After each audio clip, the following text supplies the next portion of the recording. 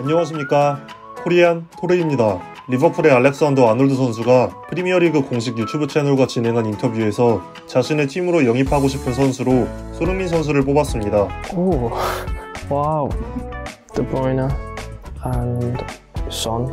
우선 아놀드 선수는 이미 어린 나이에 이룬 것이 정말 많은데 어떤 동기부여를 받으며 계속 노력할 수 있냐는 질문에 저는 언제나 이기는 것을 좋아하며 항상 목표를 달성하도록 노력하고 더 많이 이길수록 더 나은 선수가 되어가는 것 같습니다. 라고 답했습니다.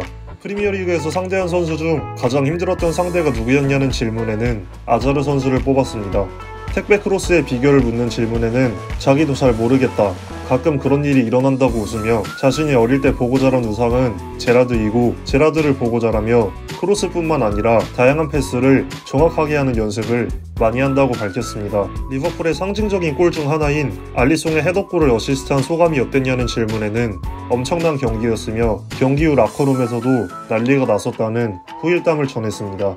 2대1로 지고 있는 상황, 경기 종료까지 10분이 남은 상황에서 역대 리버풀 선수 중 한 명을 투입시킬 수 있다면 누구를 투입시킬 거냐는 질문에는 망설임 없이 제라드를 선택했습니다. 제라드는 중요한 순간에 뭔가 해줄 수 있는 선수이며 자신도 제라드의 경기를 보고 자라며 제라드처럼 경기할 수 있도록 노력했다고 답했습니다. 겨울 이적 시장 두 명의 선수를 영입할 만한 자금이 있다면 현재 프리미어리그 선수 중 누구를 영입할 거냐는 질문에는 잠시 고민하더니 케빈 데브라이너와 손흥민 선수를 호명했습니다. 데브라이너는 자신이 존경하는 선수이며 기술과 정확성 면에서 뛰어나고 어시스트와 기회 창출 능력을 칭찬했습니다. 손흥민 역시 속도, 골 결정력, 평정심이 대단하며 엄청난 선수라고 이유를 밝혔습니다.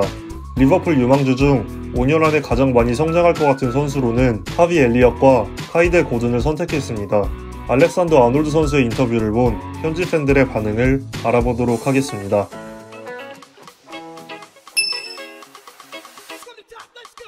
케빈 데브라이너와 손흥민이 리버풀로 온다면 리버풀은 적어도 챔스 우승을 3번은 할 수 있을 거야. 아놀드에겐 제라드 같은 느낌이 있어. 둘 다 리버풀의 역사적인 순간에 직접적으로 영향을 줬어. 다만 제라드는 직접 골을 넣었고 아놀드는 어시스트를 했지. 아놀드는 그걸 이미 어린 나이에 해냈어. 앞으로 더 많은 걸 이뤄낼 수 있을 거야. 아놀드 에이전트에 의한 손흥민 리버풀 이적 확정. 지난 경기 후에 클롭과 손흥민이 대화하며 웃는 장면도 있었지. 데브라이너에 손흥민이면 리버풀 적어도 3시즌 연속 리그 우승 가능할 듯. 챔피언스 리그 연속 우승도 가능할 거야. 난 맨유 팬이지만 아놀드는 괴물이야. 프리미어리그 최고의 라이트백이야. 데브라이너와 손흥민이 리버풀로 간다면 다른 팀들에겐 끔찍한 일이 될 거야. 데브라이너와 손흥민 아주 좋아. 손흥민과 데브라이너. 아놀드는 제가 가장 좋아하는 선수예요. 저는 아놀드처럼 경기하려고 노력해요. 아놀드는 엄청나요. 전 3골을 넣었고 어시스트도 그만큼 했어요. 손흥민, 살라, 마네에 데브라이너까지 있다고 상상해봐. 정말 엄청나. 아놀드, 넌 지구 최고의 라이트백이야. 재밌는 사실, 리버풀 16세 유스팀에서 제라드는 아놀드가 후에 리버풀 선수가 될 거라고 점 찍었어. 제라드 자서전에 써있어. 그 아놀드가 벌써 이렇게 되었네. 아놀드는 현재 최고의 라이트백 중 한 명이야. 손흥민과 데브라이너는 절친이야. 난 맨시티 팬이지만 아놀드 정말 좋아. 최고의 라이트백이야. 난 리버풀을 사랑해. 이런 훌륭한 팀을 응원해서 기뻐. 모든 어린 선수들이 데브라이너를 동경한다는 건 의미가 커.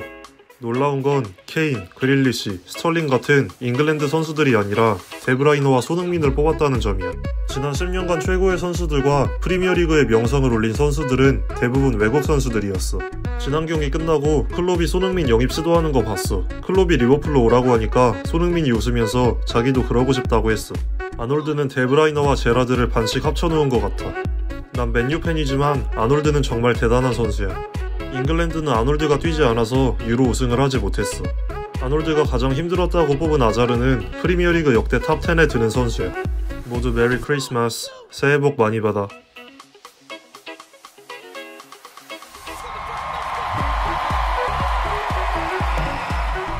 이상 현지 팬들의 반응을 알아봤습니다. 아놀드 선수의 선택을 받았다는 점과 데브라이너 선수와 함께 선택을 받았다는 점에서 참 기분 좋은 일이네요. 제가 준비한 영상은 여기까지입니다.